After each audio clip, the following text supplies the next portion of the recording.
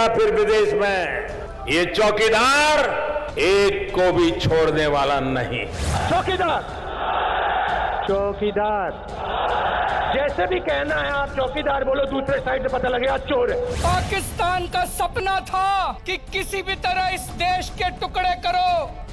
सत्तर साल में जो पाकिस्तान नहीं कर पाया पांच साल के अंदर मोदी और अमित शाह ने करके दिखा दिया ਜਿੰਨੇ ਸਾਲ ਸਰਦਾਰ ਪ੍ਰਕਾਸ਼ ਸਿੰਘ ਬਾਦਲ ਨੇ ਜੇਲ੍ਹ ਕੱਟੀ ਆ 19 ਤੋਂ ਦੀ ਕੈਪਟਨ ਅਮਰਿੰਦਰ ਸਿੰਘ ਦੀ ਸਿਆਸਤ ਨਹੀਂ ਹੋਣੀ ਜਦੋਂ ਇਹਨਾਂ ਦਾ ਡੀਜੀਪੀ ਰਿਟਾਇਰ ਹੋਇਆ ਜਾਂਦਾ ਜਾਂਦਾ ਲਿਖ ਕੇ ਉਹ ਦੇ ਗਿਆ 2 ਵਜੇ ਸਵੇਰੇ ਬਾਦਲ ਨੇ ਮੇਰੇ ਨਾਲ ਗੱਲ ਕੀਤੀ ਔਰ 2 ਵਜੇ ਔਰ 4 ਵਜੇ ਦੇ ਦਰਮਿਆਨ 22 ਵਾਰ ਗੱਲਾਂ ਹੋਈਆਂ ਮੁੱਖ ਮੰਤਰੀ ਨੂੰ ਪਤਾ ਹੀ ਨਹੀਂ ਕਿ ਉੱਥੇ ਕੀ ਗੱਲ ਹੋਈ ਹੈ आप जाने वाले हैं कृपया जाते जाते ही बता दीजिए अच्छे दिन कब आने वाले हैं prime election India 2019 only on prime Asia TV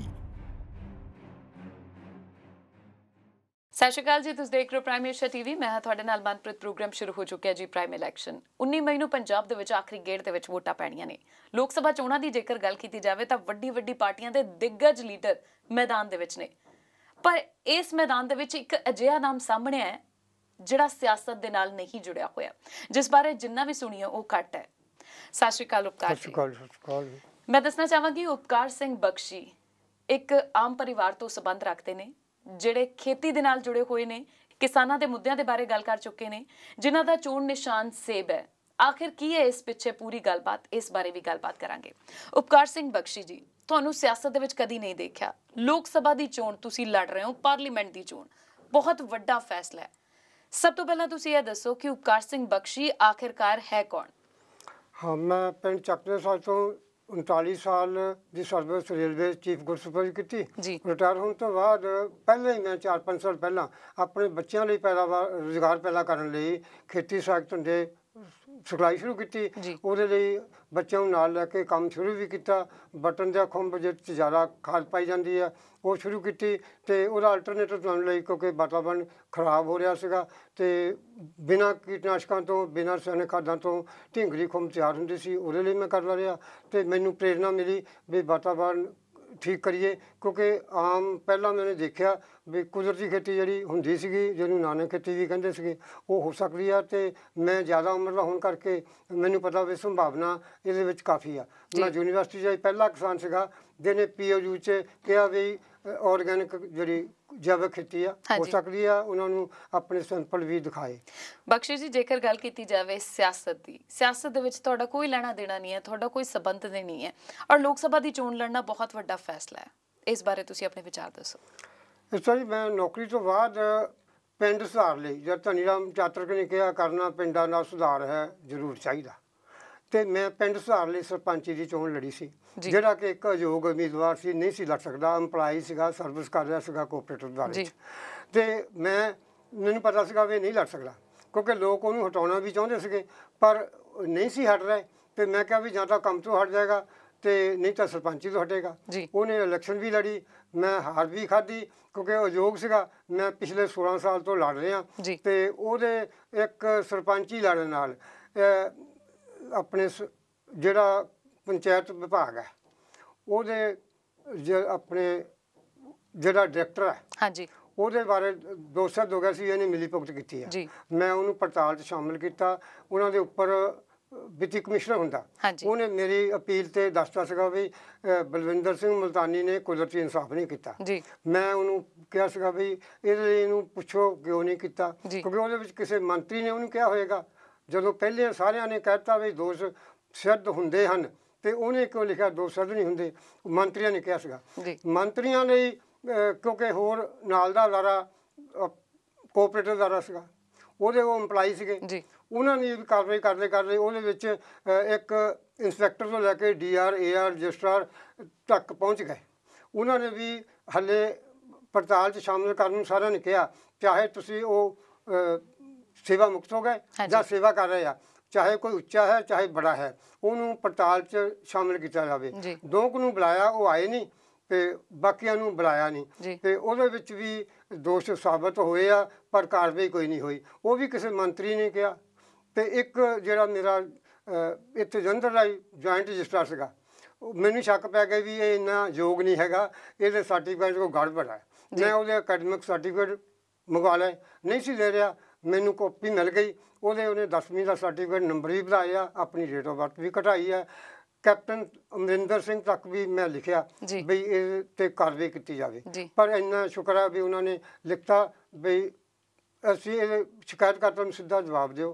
ਪਰ ਹਾਲੇ ਤੱਕ ਉਹਦੇ ਵਿਰੁੱਧ ਕੋਈ ਕਾਰਵਾਈ ਨਹੀਂ ਹੋਈ ਤੇ ਆਰਟੀਆਈ ਐਕਟ ਵੀ ਸਿੱਖਿਆ ਵਿਭਾਗ 'ਚ ਵੀ ਇੱਕ ਜਿਹੜਾ ਉਹਨੇ ਮਦਦ ਕਰਦਾ ਸੀਗਾ ਪ੍ਰਿੰਸੀਪਲ ਉਹਦੇ ਵਿਰੁੱਧ ਵੀ ਕੋਈ ਹਾਲੇ ਤੱਕ ਕਾਰਵਾਈ ਨਹੀਂ ਹੋਈ। ਤੇ ਮੈਂ ਦੇਖਿਆ ਵੀ ਰਾਜਨੀਤੀ ਦੇ ਆਉਣ ਤੋਂ ਬਿਨਾਂ ਨਾ ਪ੍ਰਸ਼ਾਸਨਿਕ ਸੁਧਾਰ ਨਹੀਂ ਹੋਣਾ। ਤੇ ਤੁਸੀਂ ਵੋਟਾਂ 'ਚ ਖੜੇ ਹੋਣ ਦਾ ਫਿਰ ਫੈਸਲਾ ਕਰ ਲਿਆ। ਬਿਲਕੁਲ ਜੀ ਬਿਲਕੁਲ। ਜੀ। ਉਪਕਾਰ ਸਿੰਘ ਬਖਸ਼ੀ ਜੀ ਜੇਕਰ ਦੇਖਿਆ ਜਾਵੇ ਤਾਂ ਜਿੱਦਾਂ ਤੁਸੀਂ ਦੱਸਿਆ ਕਿ ਰਾਜਨੀਤੀ ਦੇ ਵਿੱਚ ਆ ਕੇ ਲੱਗਦਾ ਕਿ ਸਾਰੇ ਕੰਮ ਪੂਰੇ ਹੁੰਦੇ ਨੇ ਇਹ ਰਾਹ ਸੌਖੀ ਨਹੀਂ ਹੈ। ਇਸ ਰਾਹ ਦੇ ਵਿੱਚ ਜਦੋਂ ਤੁਰੇ ਸੀ ਤੇ ਤੁਹਾਡੇ ਨਾਲ ਇਸ ਸਮੇਂ ਕਿੰਨੇ ਕੁ ਆਦਮੀ ਕਿੰਨਾ ਕੁ ਇਕੱਠ ਜੁੜਿਆ? ਇਸ ਤਰ੍ਹਾਂ ਜੀ ਜਿਹੜਾ ਪੜ੍ਹਿਆ ਲਿਖਿਆ ਵਰਗ ਹੈ ਜੀ। ਉਹ ਤਾਂ ਬਹੁਤ ਸਰਾਹਨਾ ਕਰ ਰਿਹਾ ਬਾਕੀ ਇਸ ਹਲਕੇ ਦੇ ਵਿੱਚ ਮੇਰਾ ਆਪਣਾ ਭਾਈਚਾਰਾ ਬਹੁਤ ਹੈ। ਮੇਰੀ ਆਪਣੀ ਰਿਸ਼ਤੇਦਾਰੀ ਬਹੁਤ ਹੈ। ਮੇਰੇ ਮੈਂ ਕਿਉਂਕਿ ਸਾਰੀਆਂ ਰਾਤਾਂ ਪਿੰਡਾਂ 'ਚ ਰਿਹਾ ਤੇ ਸਾਰੇ ਦਿਨ ਸ਼ਹਿਰਾਂ 'ਚ। ਰਿਹਾ। ਇਸ ਕਰਕੇ ਪਿੰਡਾਂ ਦੇ ਸ਼ਹਿਰਾਂ ਦੇ ਮੈਨੂੰ ਲੋਕ ਜਾਣਦੇ ਆ। ਮੈਂ ਕਿਸਾਨਾਂ ਵਿੱਚ ਵੀ ਰਿਹਾ ਤੇ ਕਿਉਂਕਿ ਮੈਂ ਆਪਣੀ ਪ੍ਰੋਡਿਊਸ ਜਿਹੜੀ ਆ ਉਤਪਾਦ ਆ ਉਹ ਆਪੇ ਵੇਚਦਾ। ਇਸ ਕਰਕੇ ਮੈਨੂੰ ਕਿਸਾਨਾਂ ਦਾ ਵੀ ਤੇ ਖਪਤਕਾਰਾਂ ਦਾ ਵੀ ਜਾਣਕਾਰੀ ਹੈ। ਕਿਸਾਨਾਂ ਬਾਰੇ ਦੀਆਂ ਸਮੱਸਿਆਵਾਂ ਵੀ ਮੈਂ ਜਾਣਦਾ। ਤੇ ਅ, ਲੋਕ ਜਿਹੜੇ ਮੇਰੇ ਉਤਪਾਦ ਹੁੰਦੇ ਆ ਫੜ ਫੜ ਕੇ ਕਹਿੰਦੇ ਸਾਨੂੰ ਦੇ ਜਾ। ਜੀ।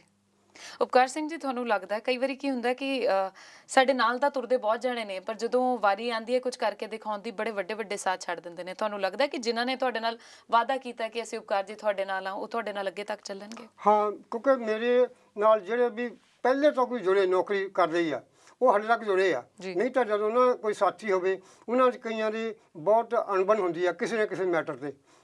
ਝਗੜੇ ਹੁੰਦੇ ਰਹਿੰਦੇ ਆ ਪਰ ਮੇਰੇ ਜਿਹੜੇ ਜਿਉਂਦੇ ਜਿੰਨੇ ਵੀ ਸਾਥੀ ਆ ਸਾਰਿਆਂ ਦਾ ਹਾਲੇ ਤੱਕ ਸਾਥ ਹੈ। ਕਿਉਂਕਿ ਇੱਕ ਮੁੱਦਾ ਮੇਰਾ ਇਹ ਵੀ ਹੈ ਵੀ ਐਮਐਲਏ ਐਮਪੀ ਨੂੰ ਜਿੰਨੀ ਵਾਰੀ ਇਲੈਕਸ਼ਨ ਲੜੀ ਜਾ ਉਹਦੀਆਂ ਪੈਨਸ਼ਨਾਂ ਵਧੀਆਂ ਰਹਿੰਦੀਆਂ। ਜੀ। 5-5 ਲੱਖ ਵੀ 4-4 ਲੱਖ ਵੀ ਬਾਦਲ ਸਾਹਿਬ ਨੂੰ 5 ਲੱਖ ਮਿਲਦੀ ਆ ਹੋਰ ਕਈਆਂ ਨੂੰ ਵੀ ਮਿਲ ਰਹੀ ਆ। ਪਰ ਮੇਰੇ 13 ਸਾਲ ਹੋ ਗਏ। ਮੇਰੇ ਨਾਲ ਦੇ ਹਜ਼ਾਰਾਂ ਹੀ ਬੰਦੇ ਹੋਰ ਹੈ ਜਿਨ੍ਹਾਂ ਨੂੰ ਬਕਾਇਆ 2006 ਤੋਂ ਬਾਅਦ ਡਿਊ ਹੈਗੇ ਆ। ਸੁਪਰੀਮ ਕੋਰਟ ਦੇ ਆਰਡਰ ਵੀ ਆ ਪਰ ਨਹੀਂ ਮਿਲ ਰਹੇ। ਤੇ ਉਹ ਵੀ ਮੇਰੇ ਨਾਲ ਸਾਥ ਹੈ। ਉਹ ਲੱਖਾਂ ਵੀ ਹੋਣਗੇ ਹਜ਼ਾਰਾਂ ਵੀ ਹੋਣ ਹਜ਼ਾਰ ਲੱਖਾਂ ਹੀ ਹੋਣਗੇ ਸਾਰੇ ਇੰਡੀਆ 'ਚ। ਕਿਉਂਕਿ ਮੈਂ central government pensioner welfare association Phagwara ਦਾ ਵੀ ਕਾਰਜਕਾਰੀ ਮੈਂਬਰ ਵੀ ਹਾਂ। ਹੁਣ ਮੈਂਬਰ ਹੈਗਾ ਤੇ ਉਹ। ਮੇਰੇ ਨਾਲ ਹੈ। ਜੀ। ਬਖਸ਼ੀ ਜੀ ਦੇਖਿਆ ਜਾਵੇ ਇਸ ਸਮੇਂ ਲੋਕ ਸਭਾ ਚੋਣਾਂ ਦੇ ਲਈ ਬੜੀਆਂ ਵੱਡੀਆਂ ਪਾਰਟੀਆਂ ਮੈਦਾਨ ਦੇ ਵਿੱਚ ਨੇ। ਚੋਣ ਨਿਸ਼ਾਨ ਤੁਹਾਡਾ ਸੇਬ ਹੈ ਇਸ ਪਿੱਛੇ ਕਾਰਨ ਕੀ ਹੈ ਵਾਤਾਵਰਣ ਦੀ ਤੁਸੀਂ ਗੱਲ ਕਰਦੇ ਹੋ ਮੇਨ ਮੁੱਦਾ ਹੀ ਵਾਤਾਵਰਣ ਤੁਹਾਨੂੰ ਲੱਗਦਾ ਹੈ ਕਿ ਜਿਹੜੀ ਜਲੰਧਰ ਦੀ ਜਨਤਾ ਹੈ ਉਹ ਵਾਤਾਵਰਣ ਦੇ ਮੁੱਦੇ ਦੇ ਉੱਤੇ ਤੁਹਾਨੂੰ ਵੋਟਾਂ ਦੇ ਸਕਦੀ ਹੈ ਕਿਉਂਕਿ ਸਭ ਤੋਂ ਜ਼ਿਆਦਾ ਨਾ ਜੀ ਜਿਹੜਾ ਜਲੰਧਰ ਜ਼ਿਲ੍ਹਾ ਇਹ ਚ ਸਭ ਤੋਂ ਜ਼ਿਆਦਾ ਮੇਰੇ ਕਹਿ ਦੇਵਾਂ ਜੀ। ਭਾਰਤ ਵਿੱਚ ਵੀ ਸਭ ਤੋਂ ਜ਼ਿਆਦਾ ਪਰ ਵਰਗ ਫੁੱਟ ਜਾਂ ਪਰ ਏਕੜ ਲਾ ਲਓ। ਕੀਟਨਾਸ਼ਕ ਨਦੀਨਨਾਸ਼ਕ ਰਸਾਇਣਕ ਖਾਦਾਂ ਇਹਦੇ ਵਿੱਚ। ਹੀ ਹੁੰਦੀਆਂ ਕਿਉਂਕਿ ਜਿਹੜਾ ਜਲੰਧਰ ਦਾ ਏਰੀਆ ਇਹ ਚ 60% ਭਾਰਤ ਦਾ ਆਲੂ ਦਾ ਬੀਜ ਪੈਦਾ ਹੁੰਦਾ। ਹਾਂਜੀ। 35% ਇਹਦੇ ਵਿੱਚ ਆਲੂ ਖਾਣ ਵਾਲਾ ਪੈਦਾ ਹੁੰਦਾ। ਜੀ। ਖਾਣ ਵਾਲਾ ਆਲੂ ਜਿਹੜਾ ਉਹਨੂੰ ਜੜ੍ਹਾਂ ਵੀ ਪੈਂਦੀਆਂ ਪਰ ਜਿਹੜਾ ਬੀਜ ਵਾਲਾ ਆਲੂ ਆ ਉਹਨੂੰ ਬੈਕਟੀਰੀਆ ਵੀ ਪੈਦਾ ਹੁੰਦਾ ਜੀ। ਕਰਦੇ ਆ। ਉਹ ਚ ਜੜ੍ਹਾਂ ਹੀ ਉਹ ਪੈਂਦੀਆਂ ਬੀਜ ਵੀ ਬਹੁਤ ਹੁੰਦਾ। ਜਿਹੜਾ ਉਹਨਾਂ ਦਾ ਵਿਕਰੀ ਵੀ ਆ ਜੀ। ਕਿਉਂਕਿ ਉਹਨਾਂ ਦੇ ਆਪਣੇ ਕੋਲਡ ਸਟੋਰ ਆ। ਉਹਨਾਂ ਨੇ ਆਪਣੇ ਮਹਿੰਗੇ ਭਾਈ ਵੇਚਣਾ। ਜੀ। ਤੇ ਡਰਾਮਾ ਕਰ ਦਿੰਦੇ ਆ ਇੱਕ ਟਰਾਲੀ ਲਿਆ ਕੇ ਸੜਕ ਤੇ ਸੱਟਦਾ। ਵੀ ਕਿਸਾਨਾਂ ਦਾ ਆਲੂ ਲੋਕ ਪੁੱਛਦਾ ਨਹੀਂ ਹੈਗਾ। ਕਿਸਾਨਾਂ ਕੋਲੋਂ ਖਰੀਦ ਕੇ ਉਹ ਫਿਰ ਲੈ ਜਾਂਦੇ ਆ। ਪੈਦਾ ਕਰਨ ਨਾਲੋਂ ਵੇਚਣ ਵਾਲਾ ਜਿਹੜਾ ਵਪਾਰੀ ਆ ਉਹ ਜ਼ਿਆਦਾ ਕਮਾ ਰਿਹਾ। ਇਸ ਕਰਕੇ ਕਿਉਂਕਿ ਸੰਘਣੀ ਆਬਾਦੀ ਆ ਸੰਘਣੀ ਆਬਾਦੀ ਹੋਏਗੀ ਕੀਟਨਾਸ਼ਕ ਜ਼ਿਆਦਾ ਹੋਣਗੇ ਬਿਮਾਰੀਆਂ ਵੀ। ਸਾਰਿਆਂ ਨਾਲੋਂ ਜਿਹੜੇ ਹਸਪਤਾਲ ਵੀ ਹੈ ਬੜੇ ਬੜੇ ਹਸਪਤਾਲ ਵੀ ਲੁਧਿਆਣਾ ਜਲੰਧਰ 'ਚ ਹੀ ਆ। ਜੀ। ਵੈਸੇ ਉਪਕਾਰ ਜੀ ਦੇਖਿਆ ਜਾਵੇ, ਜਿਸ ਤਰ੍ਹਾਂ ਦਾ ਤੁਸੀਂ ਵਾਅਦਾ ਕੀਤਾ ਵਾਤਾਵਰਣ ਨੂੰ ਬਚਾਉਣ ਦੀ ਜਿਹੜੀ ਗੱਲ ਕੀਤੀ ਹੈ ਆਪਣੇ ਜਿਹਨੂੰ ਕਹ ਲਓ ਪੋਸਟਰ ਦੇ ਵਿੱਚ, ਲੋਕ ਸਭਾ ਚੋਣਾਂ ਲਈ ਜਿਹੜਾ ਤੁਸੀਂ ਪੋਸਟਰ ਬਣਾਇਆ ਆਪਦੇ ਲਈ, ਲੋਕਾਂ ਦੇ ਲਈ ਉਹ ਜਿਹੜਾ ਪੋਸਟਰ ਬਣਿਆ ਵਾਤਾਵਰਣ ਦੀ ਜਿਹੜੀ ਗੱਲ ਕੀਤੀ ਹੈ, ਲੋਕੀ ਜਿਹੜੇ ਦੂਜੇ ਪਾਰਟੀਆਂ ਦੇ ਲੀਡਰ ਨੇ, ਉਹ ਦੂਜੇ ਵਾਅਦੇ ਕਰ ਰਹੇ ਨੇ। ਅੱਜ ਦੇ ਵਰਗ ਨੂੰ ਨੌਕਰੀ ਚਾਹੀਦੀ ਹੈ, ਅੱਜ ਦੇ ਵਰਗ ਨੂੰ ਚਾਹੀਦਾ ਕਿ ਉਹਨੂੰ ਪੈਨਸ਼ਨ ਕਿੰਨੀ ਮਿਲ ਰਹੀ ਹੈ, ਅੱਜ ਦਾ ਜਿਹੜਾ ਜਿਹੜੇ ਲੋਕੀ ਕਹਿ ਰਹੇ ਨੇ, ਉਹ ਵਿਕਾਸ ਦੀਆਂ ਗੱਲਾਂ ਕਹਿ ਰਹੇ ਨੇ, ਉਹਨਾਂ ਨੂੰ ਵਾਤਾਵਰਣ ਨਾਲ ਕੀ ਲੈਣਾ ਦੇਣਾ? ਤੁਹਾਨੂੰ ਲੱਗਦਾ ਕਿ ਤੁਹਾਡਾ ਇਹ ਜਿਹੜਾ ਮੁੱਦਾ ਹੈ ਉਹ ਲੋਕਾਂ ਨੂੰ ਆਪਣੇ ਵੱਲ ਆਕਰਸ਼ਿਤ ਕਰ ਸਕਦਾ ਖਿੱਚ ਸਕਦਾ? ਇਸ ਤਰ੍ਹਾਂ ਮੇਰੇ ਨਾਲ ਕੁਝ ਸੰਸਥਾਵਾਂ ਜੁੜੀਆਂ ਮੈਂ ਕੁਝ ਸੰਸਥਾਵਾਂ ਨਾਲ ਜੁੜੇ ਹਾਂ। ਜਿਵੇਂ ਕੁਦਰ ਮਾਨਵ ਕੇਂਦਰ ਲੋਕ ਲਹਿਰ ਹੈ ਸੰਤ ਸੀਚੇਵਾਲ ਜੀ ਹੈ ਜੀ। ਭਗਤ ਪੂਰਨ ਸਿੰਘ ਪਿੰਗਲਵਾੜਾ ਬੀਬੀ ਇੰਦਰਜੀਤ ਕੌਰ ਹੈ। ਮੈਂ ਇਹਨਾਂ ਸੰਸਥਾਵਾਂ ਨਾਲ 14 15 ਸਾਲ ਤੋਂ ਜੁੜਿਆ ਹਾਂ। ਹਾਂਜੀ। ਤੇ ਇਸ ਕਰਕੇ ਉਹ ਮੇਰੇ ਨਾਲ ਹੈ ਤੇ ਮਸਲਾ ਠੀਕ ਹੋ ਜਾਏਗਾ। ਜੀ। ਉਪਕਾਰ ਸਿੰਘ ਬਖਸ਼ੀ ਇੱਕ ਹੋਰ ਮੇਰੀ ਜਿਹੜੀ ਗੱਲ ਹੈ ਇੱਕ ਅਹਿਮ ਗੱਲ ਹੈ। ਬੜਾ ਸਾਦਾ ਤੇ ਜਿਹਨੂੰ ਕਹਿ ਲੋ ਸੁੱਚਾ ਬਾਣਾ ਤੁਸੀਂ ਪਾਇਆ ਬੜੇ ਸਿੰਪਲ ਜਿਹੇ ਇਨਸਾਨ ਤੁਸੀਂ ਲੱਗ ਰਹੇ ਹੋ। ਵੱਡੇ ਵੱਡੇ ਲੀਡਰ ਅੱਛੇ ਜਿਹੇ ਕੱਪੜੇ ਪਾ ਲੈਂਦੇ ਨੇ ਸੋਹਣੀ ਜਿਹੜੀ ਟਾਕ ਹੈ ਵੱਡੀਆਂ ਵੱਡੀਆਂ ਰੈਲੀਆਂ ਚੱਲ ਰਹੀਆਂ ਨੇ। ਤੁਹਾਨੂੰ ਲੱਗਦਾ ਕਿ ਜਿਸ ਤਰ੍ਹਾਂ ਦਾ ਤੁਹਾਡਾ ਬਾਣਾ ਹੈ ਤੁਸੀਂ ਲੋਕਾਂ ਦੇ ਵਿੱਚ ਜਾ ਕੇ ਉਹਨਾਂ ਨੂੰ ਵੋਟਾਂ ਦੇ ਲਈ ਪ੍ਰੇਰਿਤ ਕਰ ਸਕਦੇ ਹੋ ਕਿ ਤੁਸੀਂ ਮੈਨੂੰ ਵੋਟ ਪਾਓ? ਹਾਂ ਬਿਲਕੁਲ ਸਾਦਗੀ ਜਿਹੜੀ ਨਾ ਸਭ ਤੋਂ ਭਾਰਤ ਦੀ ਜਿਹੜੀ ਨਿਸ਼ਾਨੀ ਤਾਂ ਇਹੀ ਹੈ। ਇਹ ਜਿਹੜਾ ਬਾਣਾ ਇਹ ਲੋਕ ਪਾਉਂਦੇ ਆ ਤੇ ਇਹ ਕਲਚਰ ਨਹੀਂ ਹੈਗਾ। ਭਾਰਤ ਦਾ ਕਲਚਰ ਤਾਂ ਇਹੀ ਹੈ ਇਹ ਪੱਗ ਵੀ ਜਿਹੜੀ ਨਾ ਪਟਿਆਲਾ ਸ਼ਾਹੀ ਜਿਹੜੀ ਹੈ ਨੋਕ ਵਾਲੀ ਹੈ ਉਹ ਰਾਜਿਆਂ ਦੀ ਪੱਗ ਹੈ ਜੀ। ਇਹ ਮੇਰੇ ਵਾਲੀ ਜਿਹੜੀ ਪੱਗ ਹੈ ਇਹ ਭਗਤਾਂ ਦੀ ਪੱਗ ਹੈ ਇਸ ਕਰਕੇ ਮੈਂ ਸਾਦਗੀ ਨੂੰ ਪ੍ਰਵਾਨ ਕੀਤਾ ਇਹਨੂੰ ਸਭ ਸਲਾਮਾ ਕਰ ਲਿਆ। ਬਖਸ਼ੀ ਜੀ ਅਸੀਂ ਹੋਰ ਵੀ ਗੱਲਾਂ ਕਰਾਂਗੇ ਇਹ ਮੁੱਦਿਆਂ ਤੇ ਗੱਲਬਾਤ ਕਰਾਂਗੇ ਪਰ ਉਸ ਤੋਂ ਪਹਿਲਾਂ ਇੱਕ ਰੁਕਾਂਗੇ ਛੋਟੇ ਜਿਹੇ ਬ੍ਰੇਕ ਦੇ ਲਈ। ਪ੍ਰੋਗਰਾਮ ਪ੍ਰਾਈਮਰੀ ਇਲੈਕਸ਼ਨ ਦੇ ਵਿੱਚ ਵੇਲਾ ਹੋ ਚੱਲਿਆ ਛੋਟੇ ਜਿਹੇ ਬ੍ਰੇਕ ਦਾ ਜਲਦ ਵਾਪਸ ਆਉਣੇ ਆ Prime Election India 2019 only on Prime Asia TV break ਤੋਂ ਬਾਅਦ ਇੱਕ ਵਾਰ ਫਿਰ ਤੋਂ ਤੁਹਾਡਾ ਸਵਾਗਤ ਹੈ ਪ੍ਰੋਗਰਾਮ ਪ੍ਰਾਈਮ ਇਲੈਕਸ਼ਨ ਦੇ ਵਿੱਚ। ਉਪਕਾਰ ਸਿੰਘ ਬਖਸ਼ੀ ਜੀ ਪ੍ਰਚਾਰ ਕਿੱਦਾਂ ਕਰ ਰਹੇ ਤੁਸੀਂ ਇਸ ਚੋਣ ਦੇ ਲਈ? ਮੈਂ ਇੱਕ ਸਪੀਕਰ ਲਾਇਆ ਜਿਹੜਾ ਰੇਲਵੇ ਦੇ ਆਲੇ ਦੁਆਲੇ ਦਾ ਘੁੰਮ ਚੁੱਕਾ। ਜੀ। ਕਿਉਂਕਿ ਮੇਰੇ ਪੈਨਸ਼ਨਰ ਜਾਂ ਨੌਕਰੀ ਕਰਨ ਵਾਲੇ ਉਹ ਸਪੀਕਰ ਦੇ ਨਾਲ ਜਾਣ ਜਾਣਗੇ। ਜਲੰਧਰ ਬਹੁਤ ਵੱਡਾ ਹੈ। ਮੈਨੂੰ ਫੋਨ ਵੀ ਆ ਰਹੇ ਆ। ਜਲੰਧਰ ਬਹੁਤ ਵੱਡਾ ਹਾਂ ਬਾਕੀ ਰੈਣਕ ਬਾਜ਼ਾਰ ਮੈਂ ਅੱਧਾ ਘੁੰਮ ਚੁੱਕਾ। ਜੀ। 100 ਕੁ ਦੁਕਾਨ ਇੱਕ ਘੰਟੇ ਚ ਮੇਰੇ ਕੋਲ ਮੁੱਕ ਗਏ ਸੀਗੇ। ਤੇ ਮੇਰਾ ਕਲੀਗ ਆ ਜਿਹੜਾ ਇਲੈਕਸ਼ਨ ਏਜੰਟ ਵੀ ਆ ਉਹ ਰੈਣਕ ਬਾਜ਼ਾਰ ਨੂੰ ਬਿਲੋਂਗ ਕਰਦਾ। ਜੀ। ਤੇ ਉਹ ਬਾਜ਼ਾਰ ਕਲਾਂ ਤੱਕ ਕਹਿੰਦਾ ਮੈਂ ਤੁਹਾਨੂੰ ਲੈ ਜਾਵਾਂਗਾ ਉਹਨੂੰ ਸਾਰੇ ਪਰਸਨ ਜਾਣਦੇ ਆ। ਤੇ ਬਾਕੀ ਉਧਰ ਬਲੰਦਪੁਰ ਵੱਲ ਵੀ ਮੇਰੇ ਖੇਤੀ ਸਾਹਿਬ ਵਾਲੇ ਜਿਹੜੇ ਕੁਦਰੀ ਖੇਤੀ ਵਾਲੇ ਆ ਉਹ ਵੀ ਆ। ਜੰਦਰ ਸ਼ਹਿਰ 'ਚ ਆਪਾਂ ਪੂਰਾ ਕੰਟਰੋਲ ਰੱਖ ਰਹੇ ਆ ਜੀ। ਬਖਸ਼ੀ ਜੀ, ਦੇਖਿਆ ਜਾਵੇ ਤਾਂ ਇਸ ਸਮੇਂ ਜਿਹੜੀਆਂ ਰੈਲੀਆਂ ਹੋ ਰਹੀਆਂ ਨੇ, ਇੰਨੇ ਪੈਸੇ ਖਰਚੇ ਜਾ ਰਹੇ ਨੇ ਐਡਵਰਟਾਈਜ਼ਮੈਂਟ ਹੋ ਰਹੀ ਹੈ, ਪ੍ਰਚਾਰ ਹੋ ਰਿਹਾ ਜਿਸ ਤਰ੍ਹਾਂ ਤੁਸੀਂ ਦੱਸ ਰਹੇ ਹੋ ਕਿ ਮੈਂ ਲਾਊਡ ਸਪੀਕਰ ਦੇ ਨਾਲ ਹੀ ਗਲੀ ਗਲੀ ਜਾ ਕੇ ਤੁਸੀਂ ਪ੍ਰਚਾਰ ਕਰ ਰਹੇ ਹੋ। ਤੁਹਾਨੂੰ ਪਤਾ ਤੁਹਾਡਾ ਮੁਕਾਬਲਾ ਕਾਂਗਰਸ ਪਾਰਟੀ ਦੇ ਸੰਤੋਖ ਚੌਧਰੀ ਦੀ ਚੌਧਰੀ ਜੀ ਦੇ ਨਾਲ ਹੈ, ਦੂਜੇ ਪਾਸੇ ਅਕਾਲੀ ਦਲ ਦੇ ਜਿਹੜੇ ਉਮੀਦਵਾਰ ਨੇ, ਚਰਨਜੀਤ ਸਿੰਘ ਅਟਵਾਲ ਨੇ, ਆਮ ਆਦਮੀ ਪਾਰਟੀ ਦੇ ਜੋਰਾ ਸਿੰਘ ਨੇ। ਇਹਨਾਂ ਦਿੱਗਜ ਆਗੂਆਂ ਦੇ ਨਾਲ ਤੁਹਾਡਾ ਮੁਕਾਬਲਾ ਹੋਣਾ ਲਾਜ਼ਮੀ ਹੈ। ਕਹਿ ਸਕਦੇ ਹੋ? ਆਜ਼ਾਦ ਉਮੀਦਵਾਰ ਦੇ ਤੌਰ ਤੇ ਹੋ ਤੁਹਾਨੂੰ ਲੱਗਦਾ ਕਿ ਤੁਸੀਂ ਇਹਨਾਂ ਉਮੀਦਵਾਰਾਂ ਨੂੰ ਟੱਕਰ ਦੇ ਸਕਦੇ ਹੋ? ਕਾਂਗਰਸ ਤੇ ਅਕਾਲੀ। ਇਹਨਾਂ ਨੂੰ ਲੋਕ ਨਾ ਮੇਰਾ ਕੋਈ ਵਿਰੋਧ ਨਹੀਂ ਕਰ ਰਿਹਾ। ਮੇਰਾ ਸਵਾਗਤ ਕਰ ਰਹੇ ਆ। ਇਹਨਾਂ ਦਾ ਬਾਈਕਾਟ ਵੀ ਕਰਦੇ ਆ ਕੁਰਸੀਆਂ ਵੀ ਖਾਲੀ ਜਾਂਦੀਆਂ ਅਹ ਪਿੰਡਾਂ ਚੋਂ ਵੰਡ ਤੋਂ ਵੀ ਰੋਕ ਲਿਆ ਵੀ ਇੱਥੇ ਨਾ ਆਓ। ਤੁਸੀਂ ਕੀ ਕੀਤਾ। ਕਈ ਸਿਆਪੇ ਵੀ ਕਰਦੇ ਆ। ਕਾਂਗਰਸ ਤੇ ਅਕਾਲੀ ਜਿਹੜੇ ਦੋਨੋਂ ਉਮੀਦਵਾਰ ਆ। ਇਹਨਾਂ ਦਾ ਤਾਂ ਆਪਸ ਵਿੱਚ ਵਿਰੋਧ ਹੈਗਾ। ਤੇ ਬਾਕੀ ਇਹ ਜਿਹੜਾ ਹਲਕਾ ਆ ਸੰਵੇਦਨਸ਼ੀਲ ਖਰਚੇ ਪ੍ਰਤੀ ਹੈਗਾ। ਬਿਲਕੁਲ। ਇਹਦਾ ਕਾਰਨ ਵੀ ਲੋਕਾਂ ਨੂੰ ਪਤਾ ਹੀ ਹੋਏਗਾ ਕਿਉਂ ਹੈਗਾ। ਇਹ ਅਨਾਉਂਸ ਵੀ ਕਰ ਦਿੱਤਾ ਗਿਆ। ਹਾਂਜੀ ਕਿਉਂਕਿ ਇਸੇ ਕਰਕੇ ਆ ਕਿਉਂਕਿ ਜਿਹੜੇ ਇੱਥੇ ਪੈਸੇ ਆਏ ਆ ਕਰੋੜਾਂ ਰੁਪਏ ਲੋਕ ਸ਼ੱਕ ਕਰਦੇ ਆ ਵੀ ਸ਼ਾਇਦ ਇਹ ਵਰਤੋਂ ਹੋਣੀ ਸੀ ਇਲੈਕਸ਼ਨ 'ਚ। ਪਰ ਸਿਆਸਤ ਦੇ ਨਾਲ ਤੁਹਾਡਾ ਕੋਈ ਲੈਣਾ ਦੇਣਾ ਨਹੀਂ ਹੈ। ਦੂਜੇ ਪਾਸੇ ਇਸ ਤਰ੍ਹਾਂ ਦੇ ਵੱਡੇ ਲੀਡਰ ਨੂੰ ਟੱਕਰ ਦੇਣਾ ਆਪਣੇ ਆਪ ਦੇ ਵਿੱਚ ਵੱਡੀ ਗੱਲ ਹੈ। ਤੁਹਾਨੂੰ ਲੱਗਦਾ ਕਿ ਰਾਹ ਮੁਸ਼ਕਿਲ ਹੋ ਸਕਦੀ ਹੈ? ਨਹੀਂ ਮੈਨੂੰ ਤੇ ਸੰਭਵ ਹੀ ਲੱਗਦਾ। ਵੀ ਕੋਈ ਔਖਾ ਨਹੀਂ ਹੈਗਾ। ਕਿਉਂਕਿ ਮੈਨੂੰ ਪਤਾ ਵੀ ਮੇਰਾ ਇਹਨਾਂ ਨਾਲੋਂ ਜ਼ਿਆਦਾ ਤਜਰਬਾ। ਤੇ ਜਿਹੜੇ ਦੋ ਪਾਰਟੀਆਂ ਦੇ ਆਮ ਆਦਮੀ ਪਾਰਟੀ ਦਾ ਤੇ ਅਕਾਲੀ ਪਾਰਟੀ ਦੇ ਇਹ ਤਾਂ ਉਮੀਦਵਾਰ ਬਾਹਰੋਂ ਆਏ ਆ। ਇਹਦਾ ਮਤਲਬ ਇਹ ਦੋਨੋਂ ਪਾਰਟੀਆਂ ਸਮਝੀਆਂ ਵੀ ਜੰਦਰ ਦੇ ਵਿੱਚ ਕੋਈ ਯੋਗ ਉਮੀਦਵਾਰ ਹੀ ਨਹੀਂ ਹੈ। ਜੀ। ਜਦੋਂ ਕਿ ਹੋਰ ਵੀ ਮੈਂ ਗੱਲ ਦੱਸ ਦਿੰਦਾ। ਜੀ ਜੀ। ਆਮ ਆਦਮੀ ਪਾਰਟੀ ਦੀ ਜਿਹੜੀ ਪਿਛਲੀ ਇਲੈਕਸ਼ਨ ਸੀ ਜਦੋਂ ਇੱਕ ਲਹਿਰ ਸੀਗੀ ਉਹਦਾ ਆਨਲਾਈਨ 'ਚ ਅਸੀਂ ਦੋ ਬੰਦਿਆਂ ਨੇ ਅਪਲਾਈ ਕੀਤਾ ਸੀਗਾ। ਅੱਛਾ ਜੀ। ਇੱਕ ਮੈਂ ਤੇ ਇੱਕ ਡਿਸਟ੍ਰਿਕਟ ਸਪੋਰਟਸ ਅਫਸਰ ਜੀ। ਤੇ ਮੈਂ 800 ਬੰਦਿਆਂ ਨੇ ਪ੍ਰਪੋਜ਼ਲ ਭੇਜੇ ਸੀਗੇ ਵੋਟਾਂ ਦੇ ਸਭ ਕੁਝ 9 ਹਾਲ 8 ਹਲਕਿਆਂ ਚੋਂ। ਤੇ ਇਹਨਾਂ ਨੇ ਮੈਨੂੰ ਇੰਟਰਵਿਊ ਲਈ ਨਹੀਂ ਸੱਦਿਆ ਹੈਗਾ। ਅੱਛਾ ਜੀ। ਤੇ ਟਿਕਟ ਦਿੱਤਾ ਸੀਗਾ ਕਿਸੇ ਕਾਂਗਰਸੀ ਬਲਾਕ ਕਾਂਗਰਸੀ ਇਸ ਪਿੱਛੇ। ਕਾਰਨ ਕੀ ਹੋ ਸਕਦਾ? ਮੈਂ ਦੱਸਦਾ ਜੀ। ਪ੍ਰਧਾਨ ਸੀਗਾ ਉਹਨੂੰ ਟਿਕਟ ਦਿੱਤਾ। ਵਲੰਟੀਅਰ ਨੇ ਵਿਰੋਧ ਕੀਤਾ। ਟਿਕਟ ਉਹਨੂੰ ਖੋਲਿਆ ਫਿਰ ਉਹਦੇ ਘਰ ਬੀਬੀ ਜੋਤੀ ਮਾਨ ਨੂੰ ਬੁਲਾ ਕੇ ਟਿਕਟ ਦਿੱਤਾ ਉਹਨੂੰ ਉਹਦੇ ਮੂੰਹ 'ਚ ਲੱਡੂ ਉਸੇ ਮੂੰਹ ਉਹ, ਉੱਥੇ ਹੀ ਪਾਇਆ ਉਹਦੇ ਘਰ ਤੇ ਮੈਂਬਰ ਵੀ ਉਹਨੂੰ ਬਾਹਰ ਹੀ ਬਣਾਇਆ।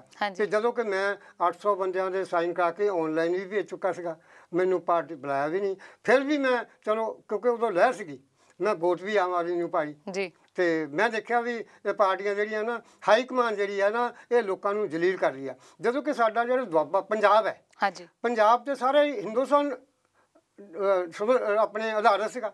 ਜੀ। ਸਾਰੇ ਪੰਜਾਬ ਤੋਂ ਸਭ ਕੁਝ ਮੰਗਦੇ ਸੀਗੇ। ਇਹ ਕਿਸਾਨ ਤੇ ਜੈ ਜਵਾਨ ਜੈ ਕਿਸਾਨ ਇਹ ਪੰਜਾਬ ਦੀ ਦੇਣ ਹੈ। ਤੇ ਸਾਡੇ ਪੰਜਾਬ ਦੇ ਦੁਆਬੇ ਤੋਂ ਜਾ ਕੇ ਜੰਦਰ ਜਾਂ ਹੋਰ ਪੰਜਾਬ ਚੋਂ ਵੀ ਜਾ ਕੇ ਦਿੱਲੀ ਦੋ ਦੋ ਮਹੀਨੇ ਬੈਠੇ ਰਹਿਣ ਆਪਣੇ ਟਿਕਟ ਲਈ ਉਹ ਮੈਂ ਸਮਝਦਾ ਵੀ ਹਾਨੀ ਹੈ ਸਾਡੀ। ਕਿਉਂਕਿ ਪੰਜਾਬ ਅੰਦਾਤਾ ਰਿਹਾ। ਹੁਣ ਪੰਜਾਬ ਨੂੰ ਨਹੀਂ ਜ਼ਹਿਰ ਲਾਤਾ ਬਣਾਤਾ ਜੀ। ਸੰਤੋਖ ਸਿੰਘ ਚੌਧਰੀ ਮੈਦਾਨ ਦੇ ਵਿੱਚ ਨੇ। ਇੱਕ ਵੀਡੀਓ ਕਲਿੱਪ ਵੀ ਉਹਨਾਂ ਦੀ ਵਾਇਰਲ ਹੋ ਰਹੀ ਸੀ ਲੈਣ ਦੇਣ ਨੂੰ ਲੈ ਕੇ। ਆਪਾਂ ਕਹਿਣਾ ਨਹੀਂ ਚਾਹੁੰਦੇ ਚਲੋ ਇਸ ਮੁੱਦੇ ਨੂੰ ਨਹੀਂ ਛੇੜਦੇ। ਤੁਹਾਨੂੰ ਕੀ ਲੱਗਦਾ ਕਿ ਕਾਂਗਰਸ ਪਾਰਟੀ ਦੀ ਜਲੰਧਰ ਦੇ ਵਿੱਚ ਧਾਕ ਹੱਲੇ ਵੀ ਹੈਗੀ ਹੈ ਕਿਉਂਕਿ ਵੋਟ ਹਲੇ ਜਦੋਂ ਨਾ ਜੀ ਆਜ਼ਾਦ ਉਮੀਦਵਾਰ ਦਾ ਜਿਹੜਾ ਪਿਛਲੇ ਪਿੱਛੇ ਤੱਕ ਹਾਂਜੀ। ਇਹੀ ਰਿਹਾ ਵੀ ਆਜ਼ਾਦ ਉਮੀਦਵਾਰ ਜਾਂ ਤਾਂ ਕਿਸੇ ਪਾਰਟੀ ਨੇ ਖੜਾ ਕੀਤਾ। ਜਾਂ ਕਿਸੇ ਵਿਅਕਤੀ ਨੇ ਖੜਾ ਕੀਤਾ ਵੋਟਾਂ ਤੋੜਨ ਲਈ ਵੀ ਕਹਿ ਵੋਟਾਂ ਸਕਦੇ ਹਾਂ। ਤੋੜਨ ਲਈ ਖੜਾ ਕੀਤਾ ਜਾਂ ਪੈਸੇ ਲੈ ਕੇ ਬਹਾਲ ਲਈ ਖੜਾ ਕੀਤਾ ਜਾਂ ਗਿਣਤੀ ਵੇਲੇ ਉਹ ਆਪਣੇ ਵੀ ਦੋ ਚਾਰ ਬੰਦੇ ਲੈ ਜਾਏਗਾ ਕਿਸੇ ਪਾਰਟੀ ਨੂੰ ਮਦਦ ਕਰਨ ਲਈ। ਇਹੀ ਸਮਝਿਆ ਜਾਂਦਾ ਸੀਗਾ ਪਰ ਮੈਂ ਇਹਨਾਂ ਤੋਂ ਹਟ ਮੈਂ ਆ ਉਹ ਜਿਹੜੀ ਲੋਕਾਂ ਦਾ ਮੰਨਣਾ ਹੈ। ਉਹਨੂੰ ਮੈਂ ਦੂਰ ਕਰਨਾ ਜੀ। ਚਾਹਨਾ ਆਪਣੇ ਆਪ ਨੂੰ ਮੈਂ ਬੈਠਣਾ ਨਹੀਂ ਮੈਂ ਖੜਾ ਹੀ ਰਹਿਣਾ ਤੇ ਵੋਟਾਂ ਵੀ ਕਾਫੀ ਲਵਾਂਗਾ ਜਿੱਤਣ ਦੀ ਸੰਭਾਵਨਾ ਆ ਨਹੀਂ ਤਾਂ ਲੋਕਾਂ ਨੂੰ ਜਾਗਰੂਕ ਕਰਾਂਗਾ ਬਈ ਤੁਹਾਨੂੰ ਵੋਟਾਂ ਉਹਨੂੰ ਪਾਇਓ ਜਿਹੜਾ ਵਾਤਾਵਰਨ ਤੇ ਸੁਧਾਰ ਲਈ ਤੇ ਪ੍ਰਸ਼ਾਸਨਿਕ ਸੁਧਾਰ ਲਈ ਕੰਮ ਕਰੇ। ਵਾਹ ਜੀ ਵਾਹ ਕਿਆ ਜਜ਼ਬਾ ਹੈ। ਵਾਕਈ ਅ, ਸਿੰਘ ਜੀ ਦੇ ਜਜ਼ਬੇ ਨੂੰ ਸਲਾਮ ਹੈ। ਵੱਡੀਆਂ ਵੱਡੀਆਂ ਪਾਰਟੀਆਂ ਮੈਦਾਨ ਦੇ ਵਿੱਚ ਨੇ ਵੱਡੇ ਵੱਡੇ ਲੀਡਰ ਵੀ ਨੇ ਰੈਲੀਆਂ ਵੀ ਹੋ ਰਹੀਆਂ ਨੇ। ਇਹ ਆਮ ਇਨਸਾਨ ਅਸਲ ਦੇ ਵਿੱਚ ਮੈਨੂੰ ਇਸ ਸਮੇਂ ਦਿਖਾਈ ਦੇ ਰਿਹਾ ਇਸ ਕੁਰਸੀ ਦੇ ਨਾਲ ਇਨਸਾਫ ਕਰਨਾ ਵੀ ਬਹੁਤ ਜ਼ਰੂਰੀ ਹੈ। ਇੱਕ ਐਸਾ ਇਨਸਾਨ ਜਿਹੜਾ ਸਾਡੇ ਲਈ ਸੋਚ ਰਿਹਾ ਵਾਤਾਵਰਣ ਬਾਰੇ ਸੋਚ ਰਿਹਾ ਉਸ ਨੂੰ ਬਚਾਉਣ ਦੀ ਗੱਲ ਕਰ ਰਿਹਾ ਵਾਕਈ ਕੋਈ ਦੂਜੀ ਵੀ ਪਾਰਟੀ ਹੋਵੇ ਨਾ ਉਸਨੇ ਇਸ ਬਾਰੇ ਕੋਈ ਗੱਲਬਾਤ ਨਹੀਂ ਕੀਤੀ ਕਿ ਵਾਤਾਵਰਣ ਨੂੰ ਬਚਾਉਣ ਦੇ ਲਈ ਆਖਿਰਕਾਰ ਆਪਾਂ ਕੀ ਕਰਾਂਗੇ। ਚੋਣ ਨਿਸ਼ਾਨ ਇਹਨਾਂ ਦਾ ਸੇਬ ਹੈ ਤੇ ਦੱਸ ਰਹੇ ਨੇ ਕਿ ਆਖਿਰਕਾਰ ਉਹ ਕਿਉਂ ਰਾਜਨੀਤੀ ਦੇ ਵਿੱਚ ਆਏ ਨੇ ਸਾਡੇ ਲਈ।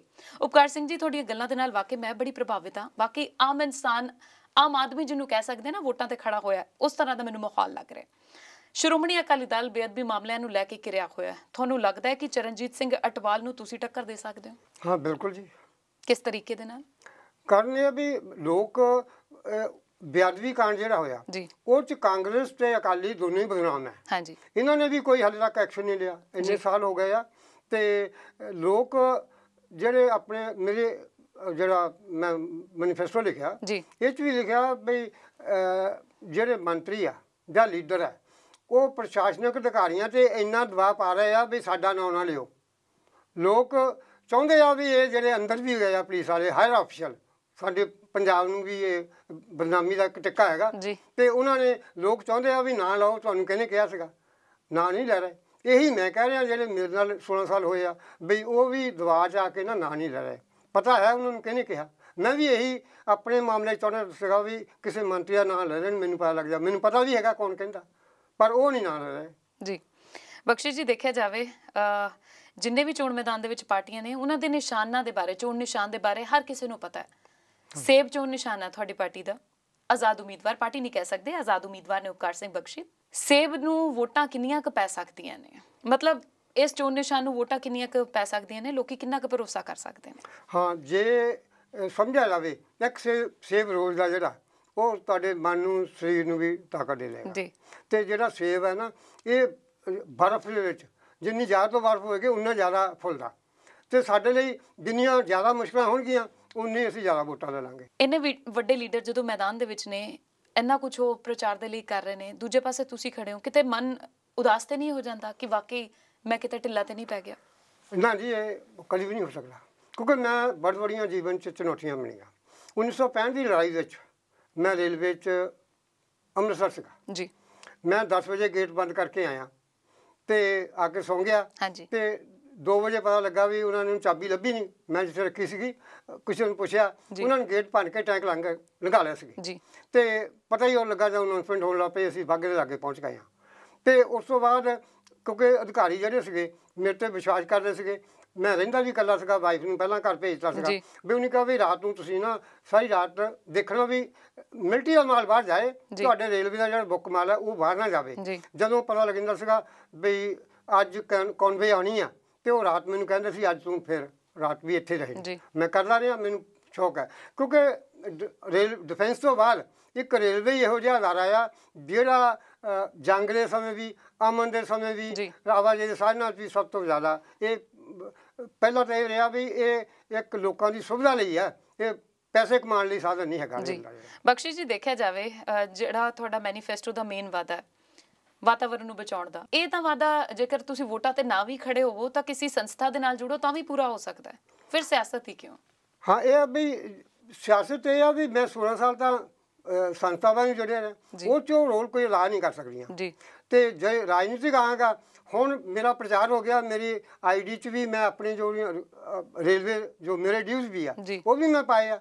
ਜੋ ਹੋਰ ਵੀ ਮੁਸ਼ਕਲਾਂ ਹੈਗੀਆਂ ਲੋਕਾਂ ਦੀਆਂ ਵੀ ਪਾਵਾਂਗਾ। ਲੋਕ ਇਸ ਕਰਕੇ ਮੇਰੇ ਨਾਲ ਜੁੜੇ ਆ। ਜੇ ਸਹਿਯੋਗ ਦੇਣਗੇ ਤਾਂ ਵਧੀਆ ਰਹੇਗਾ ਨਹੀਂ ਤਾਂ ਹੋਰ 5 ਸਾਲ ਧੱਕੇ ਖਾਈ ਜਾਣਗੇ ਠੀਕ ਆ ਸੋਸ਼ਲ ਮੀਡੀਆ ਦੇ ਉੱਤੇ ਬੜੇ ਜਿਹੜੇ ਅਕਾਊਂਟ ਚੱਲ ਰਹੇ ਨੇ ਵੱਖਰੀ ਵੱਖਰੀ ਪਾਰਟੀਆਂ ਦਾ ਸੋਸ਼ਲ ਮੀਡੀਆ ਤੇ ਵੀ ਪ੍ਰਚਾਰ ਹੋ ਰਿਹਾ ਹੈ। ਤੁਸੀਂ ਆਮ ਇਨਸਾਨ ਲੱਗ ਰਹੇ ਹੋ ਬੜਾ ਸਾਦਾ ਜਿਹਾ ਤੁਹਾਡਾ ਬਾਣਾ ਹੈ ਤੁਹਾਨੂੰ ਲੱਗਦਾ ਹੈ ਕਿ ਸੋਸ਼ਲ ਮੀਡੀਆ ਤੇ ਪ੍ਰਚਾਰ ਕਰਨਾ ਸਹੀ ਹੈ ਹਾਂ ਕਿਉਂਕਿ ਮੈਂ ਤਾਂ ਵੈਸੇ ਇਹ ਚਾਹਨਾ ਜਿਸ ਤਰ੍ਹਾਂ ਬਾਹਰ ਕੰਟਰੀ 'ਚ ਹੈ ਤੇ ਜਿਹੜੇ ਉਮੀਦਵਾਰ ਹੈ ਜੀ। ਉਹ ਆਪਸ ਵਿੱਚ ਡਿਬੇਟ ਕਰਨ ਜਾਂ ਕਿਸੇ ਕੱਲਾ ਕੱਲਾ ਬੈਠ ਕੇ ਦੱਸ ਜਾਏ। ਤੇ ਇਹ ਸਾਰਾ ਜਿਹੜਾ ਵਾਤਾਵਰਨ ਖਰਾਬ ਕਰਨ ਨੂੰ ਰੈਲੀਆਂ ਹੋ ਰਹੀਆਂ ਆਪਣੇ ਪੈਸਾ ਵੀ ਖਰਾਬ ਹੋ ਰਿਹਾ ਵਾਤਾਵਰਨ ਵੀ ਖਰਾਬ ਹੋ ਰਿਹਾ। ਇਮੇਜ ਵੀ ਖਰਾਬ ਹੋ ਰਿਹਾ। ਜਿਹੜੇ ਮਨਰੇਗਾ ਵਾਲੇ ਨਾ ਕੰਮੇ ਹੈਗੇ ਆ। ਉਹਨਾਂ ਨੂੰ ਵੀ ਰੈਲੀਆਂ 'ਚ ਲਿਆ ਜਾਂਦਾ। ਮੈਨੂੰ ਵੀ ਕੱਲ ਮੈਸੇਜ ਆਇਆ ਸੀਗਾ ਵੀ 200 ਬੰਦਾ ਸਾਡੇ ਕੋਲ ਹੈਗਾ। ਲੈ ਲਓ ਪਰ ਆਪਾਂ ਇਦਾਂ ਨਹੀਂ ਕਰਦੇ। ਇਹਦਾ ਮਤਲਬ ਹੋਰ ਬੰਦੇ ਕਿਰਾਏ ਤੇ ਲਿਆਂਦੇ ਆ। ਜੀ। ਬਖਸ਼ੀ ਜੀ ਤੁਹਾਡੇ ਨਾਲ ਗੱਲ ਕਰਕੇ ਬਹੁਤ ਵਧੀਆ ਲੱਗਾ। ਉਮੀਦ ਕਰਦੇ ਹਾਂ ਕਿ ਜਿਸ ਜਜ਼ਬੇ ਦੇ ਨਾਲ ਤੁਸੀਂ ਇਸ ਚੋਣ ਨੂੰ ਲੜ ਰਹੇ ਹੋ ਤੁਸੀਂ ਜਿੱਤੋਗੇ ਵੀ ਜ਼ਰੂਰ।